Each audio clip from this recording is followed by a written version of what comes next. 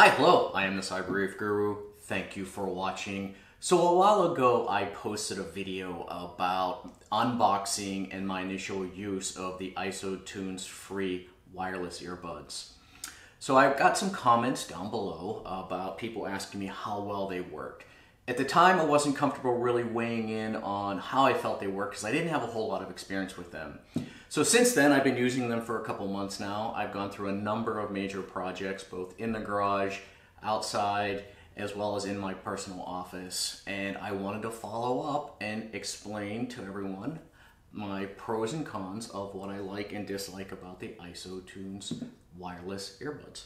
All right, let's get on with it. So let's start with what I like about these. The first and foremost thing is they're just super easy to use.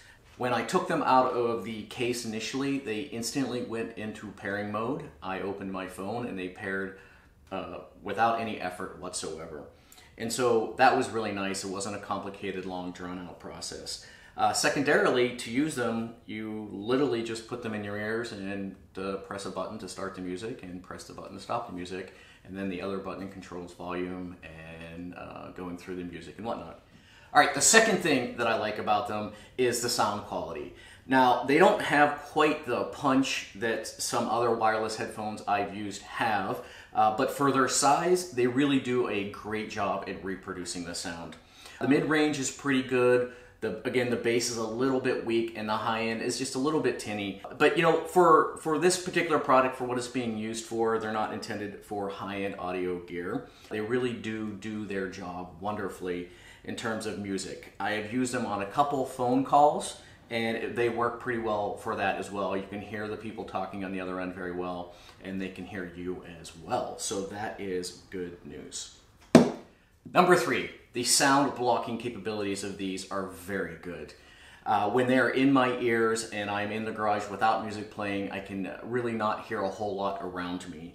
When you play music, they're not noise canceling earbuds, they are noise blocking earbuds. So they do keep the sound from the outside out and the music plays through. But if there are really loud sounds in the garage, you can hear it through a little bit. Now they don't work as well as these these particular earbuds that I have that I use occasionally, these just block the sound out just a little bit better. They are rated by OSHA for sound protection, so uh, no worries there. So that's all good. All right, so now on to the things that I don't like about the ISOtunes free earbuds. So number one is actually a pro and a con. Uh, it is actually their size. They are very small and that it comes in handy at times so they fit in the ears very well. The problem is they are so small. I have set them down before. Well, I've set one of them down. I had to take them out to hear people talk. Take it out, set it down, and I've misplaced it uh, at least three times now. And so that's a little uh, disconcerting given the cost is how easy they are to misplace. But hey, you know, pros and cons there. Um, the size is small and easy to use, but that also means they're easy to misplace. I did get the green version, and I will tell you the green version is better at finding than the pure black one. The green kind of stands out here in the garage and around the house. Not a lot of kind of bright green things in the house. So, I mean, that's good news. Second thing that I don't like about them and this is a little nuance of this particular design, but uh, the right earbud here is the main controller and you control them through this button on the back. And so to start and stop the music, you press the button down and then you release it and then you press it again and release it. What this does, it has the uh, uh, the annoying side effect of pushing the earbud into your ear. And you know, for a simple one push, to stop the music or to start the music, it's not too annoying. But in the left earbud has a similar button. And to advance the music or to back up a track, you have to press multiple times. And that can get really quite annoying as it's pushing these earbuds further into your ear canal.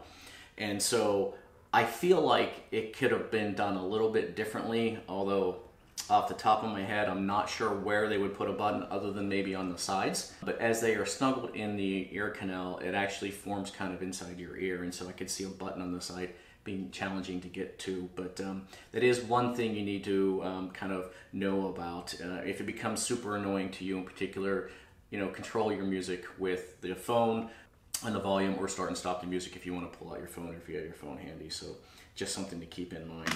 The third thing that I don't like about these earbuds is the black foam tip. It's not actually necessarily about the foam tip per se, but about the way in which it was manufactured. So let me, uh, they screw on to the earbuds just like this. And it has this insert, it's grayish white color. Both my left and right earbuds, the black foam has separated from this white little peg that you screw into the earbud. And I found it out the very first time whenever I took it out of the package itself. I actually kind of pulled it off a little bit and I'm like, hey, you know, no big deal, like just push it back on, it'll be fine. What I found after repeated, uh, repeatedly putting it in and taking out of my ear, at one point the actual foam thing uh, came off completely and was left in my ear canal while I had my, uh, the earbuds kind of in my hand. And so I actually had to push the little stud back in, kind of dig around and pull the foam thing out of my ear. Uh, this actually happened a couple times to me which was, uh, you know, obviously annoying. The straw that broke the camel's back, per se, was whenever I spent about 10 minutes trying to get the black foam thing out of my ear canal, and all I kept doing was pushing it further into my ear. And it really started to freak me out a little bit, thinking that I might not be able to get it out at all, which would be, you know, disappointing. But so the way to I fix this is I just dabbed a little bit of super glue inside the foam core here and then screwed the little peg in and let it dry and you can see that they don't come off easily anymore. And again, I had this happen to both the left and the right one, so there's clearly some issue with the way in which they're attaching these black foam things, um, ear protection, to the stud for whatever reason. So the final thing that I've had an issue with these particular earbuds is the volume themselves.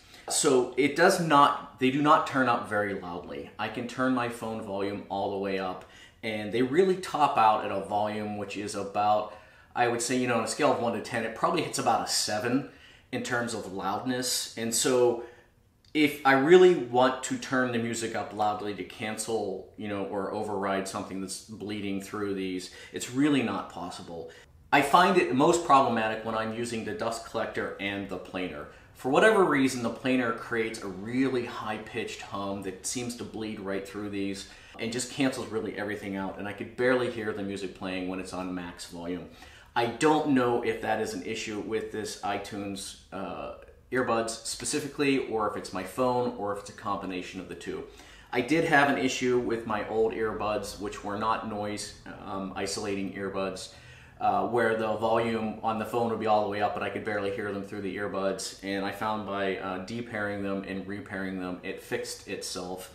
I have tried that trick with these and it has not changed anything. So I do plan to reach out to the company and just ask about it if there's any way to jack up the volume uh, beyond where it is right now. If you're not uh, interested in listening to super, super loud music or you don't want to drown out maybe the, the hum of the, the dust collector, then maybe it might not be a problem for you, but I have found it as an issue so far.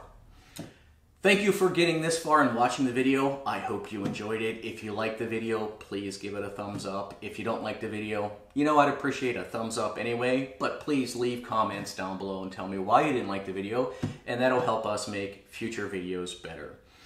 Don't forget to subscribe, ring that bell, very important these days. If you're not already following me on Instagram, please do so. That's where I post regular project updates and you get hints of future videos to come. Thanks everyone for watching and don't forget to be inspired.